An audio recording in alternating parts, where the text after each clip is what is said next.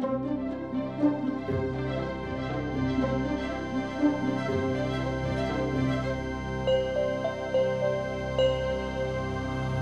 pilgrim visiting the Archbasilica of St. John Lateran in Rome cannot help but discern the presence of the apostles.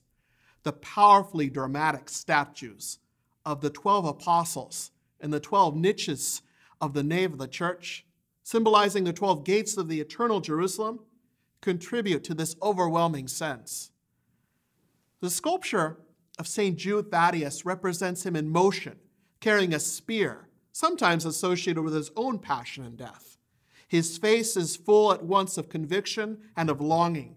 His hand is displayed in a gesture of explanation or pleading. This statue and the other 11 represent not only the historical figures, but speak to a present reality. The saints, most especially the apostles, are present and active in the church today. Just as God acted in their life on earth, so he continues to act through their patronage in heaven.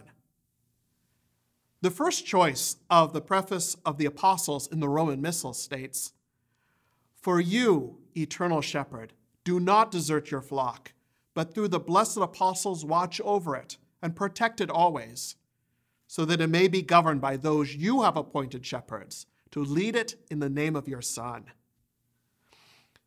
Outside of the list of the apostles in the Gospels, not much is said about St. Jude.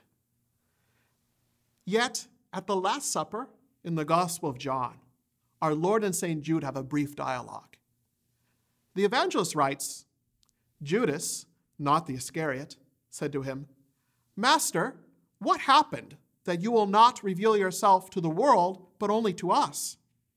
Jesus answers, Whoever loves me will keep my word, and my Father will love him and we will come to him and make our dwelling with him. The question of St. Jude 2,000 years ago could equally be our own in these times. Why does God not show himself as Lord to the whole world? Why is he not more present to us in our needs? Pope Benedict XVI addresses this point in his series of talks on the apostles. He says, The risen one must be seen, must be perceived also by the heart, in a way so that God may take up his abode within us.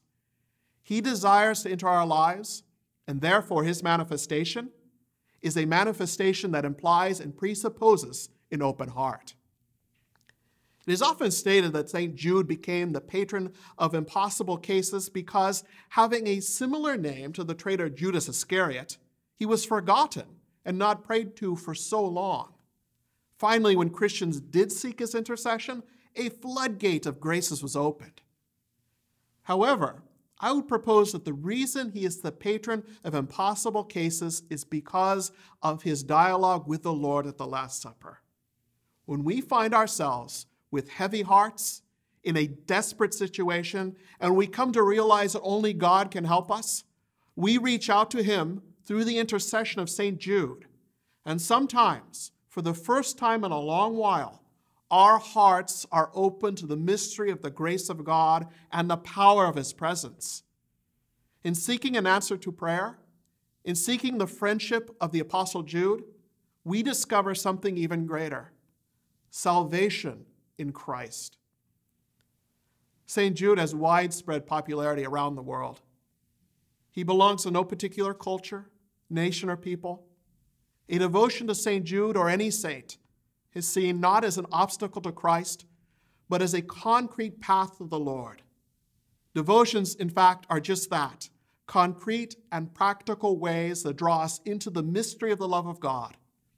The Apostle Jude is a loving and accessible patron who has compassion on the devotee in his need, but is also still the apostle who proclaims the risen Christ to those who seek his aid. St. Jude is then for us a heavenly intercessor for the needs of this world and a beacon of hope that we too can find life eternal in Christ Jesus our Lord. Brothers and sisters, keep studying. This is Father Vincent Kelber for the Western Dominican Province.